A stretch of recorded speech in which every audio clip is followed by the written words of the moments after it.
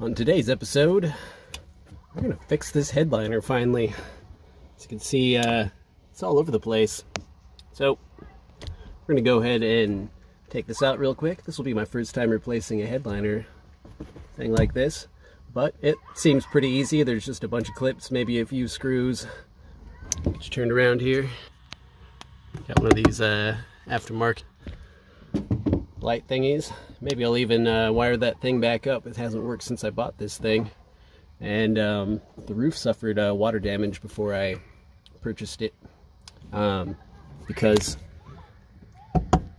uh, this light, I believe on the other side of this light, it's drilled all the way through. And there used to be a spotlight on here. That would have been a cool feature to have. But it's not there anymore. That's all patched up. So we're going to take this cool sheet that I have cut it up, use some spray adhesive, throw it back on there, dry it, slap it back up, and hopefully uh, looks good. So, let's get to work. So we're going to go ahead and start with the low-hanging fruit here and take off this stuff. And this just looks like it's a old Phillips head screwdriver. Shouldn't be too bad. Oh no, that's a uh, the star bit. Be right back. Okay, looks like it'll be a T15. Put it to the test.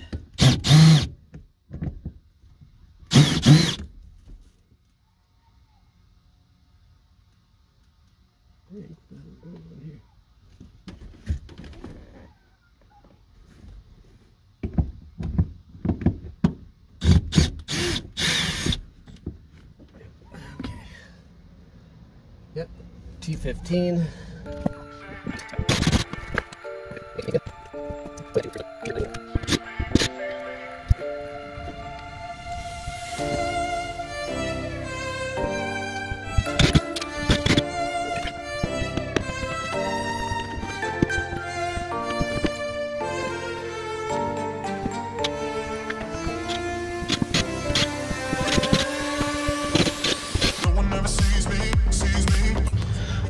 Okay, so now we gotta pop these oh shit handles off. I believe we can just work this in there.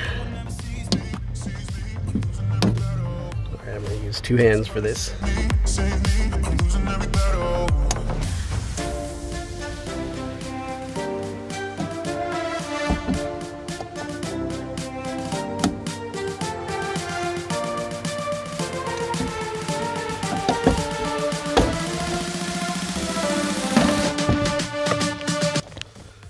These are just clips here.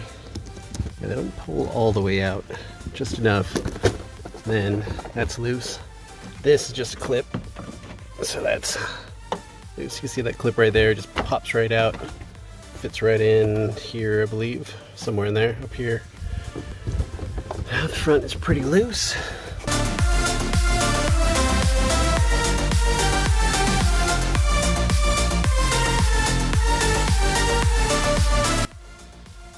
Alright, we have two more dealy snakins here. We'll try to pop out.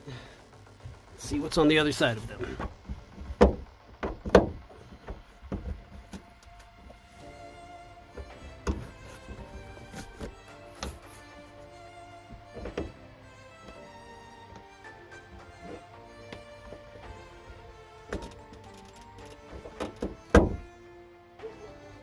They just pull right out. You just need to persuade them a little bit.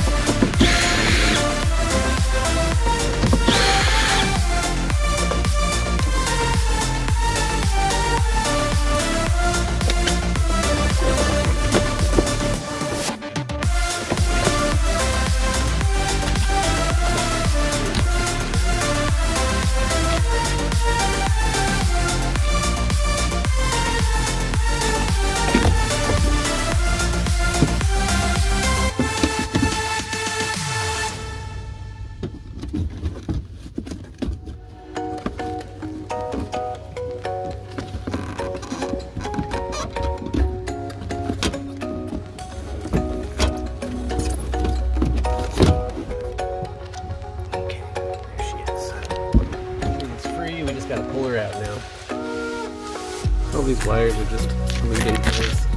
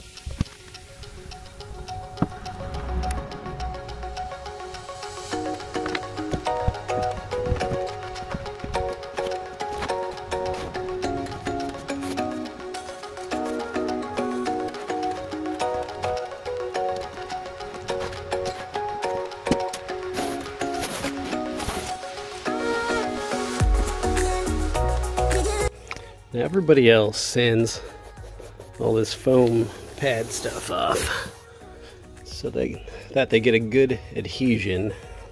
I don't know if I want to do that though. It's pretty thin material, it's a pretty thin headliner.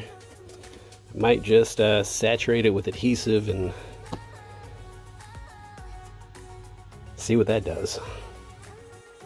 Okay, here is the sheet that we are working with. Notice that it has a bunch of holes cut in it, so I hope I have enough material left to put it on this headliner.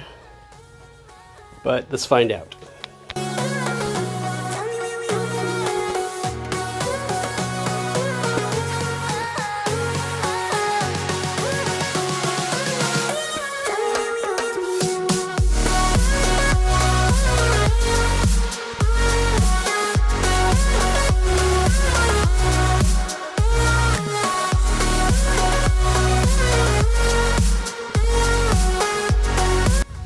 Adhesive of choice today is a 3M high strength 90. Uh, it says it's industrial strength, moisture, and heat resistant.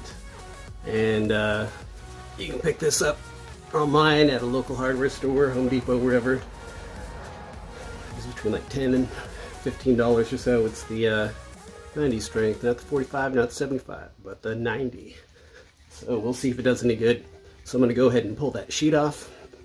I'm gonna drench that headliner in this stuff, pull the sheet over, and try to make it look nice. Should look better than it did before, at least.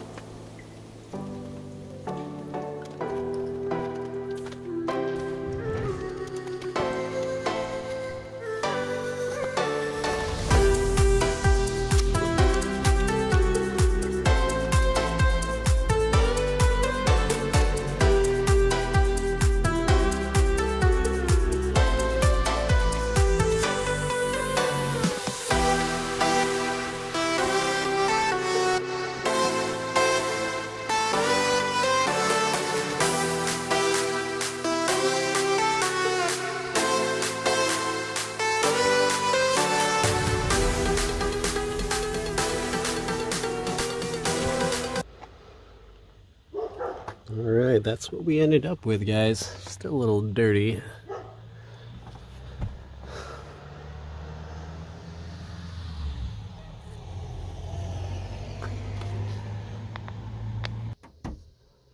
Say all in all, I'm out about 10 bucks. Um, now it doesn't look the nicest, but it does have a very homey type feel to it, having a sheet up above my head. It really brings out the blue in here too. Um, not overly impressed, but I am happy with it, and I do uh, think it is a slight upgrade from what it was before, especially uh, just in the atmosphere that it uh, contributes to in here. I spend a lot of time um, in this vehicle in summertime overlanding and having a nice atmosphere while you're spending hours, you know, sometimes hours on the road uh, at any given time. Um, having a good atmosphere makes a difference, so I'm pretty happy with it for what it is. Um, probably uh, could have slowed down and not rushed it so much, but I needed to get this done now because I got to be on the uh, be on the ferry I head on my overland trip here in a few days, so this was just something I wanted to wrap up real quick, um, just so I can get this crap from hanging out on my face. And I had a, a spare sheet laying around that was donated um, a while back, and I've never looked at it until uh, I started, until I already ripped down the headliner and found two big ass holes. So, so uh, we had to contort the sheet and stretch it a little funny in places and right back here it's just kind of glued up and but whatever. It doesn't have to be perfect. It's an old truck. It just has to be a little bit better than it was. And uh, all in all I am pleased with it. Not overly impressed but I'm pleased with it. So go ahead and smash that like button if you found something in here that uh, you find useful or found some entertainment out of this or you know maybe you learned what not to do. Who knows? Uh, comment down below with um, any comments that you have, questions you have, or if you've done something similar or you bought a really cool uh, headliner. Like I, I, think it would be really cool to uh, get the camo headliner up here. Um, but if you've uh, done your own do-it-yourself, you got a video, put that link down in, in the comments, man. I want to see that. And uh, if you have links to some cool headliners I should check out, throw that in the comments too. I'd love to check that out. Uh, but otherwise, Smash that like button, comment, subscribe to see more videos like this in the future. Feel free to check out my channel. I got a ton of other videos on this channel now. I got like 81, over 80 videos. So got a lot of content for you for overlanding, for camper rebuilding, for all kinds of maintenance and things on this truck and performance upgrades. So we're always doing something around here. Next week we're hopping on the ferry and we're going to go do some overlanding. So it may be a little bit before I update you with another video because I'll be uh, out living life, but I am going to film as much as I can, including the ferry ride down there, so you guys can get a little experience of the Alaska Marine Highway if you've never been on it, or if you have and you just want some nostalgia, well, I'll provide that. All right, guys, thanks for sticking around this long. We will see you on the next one.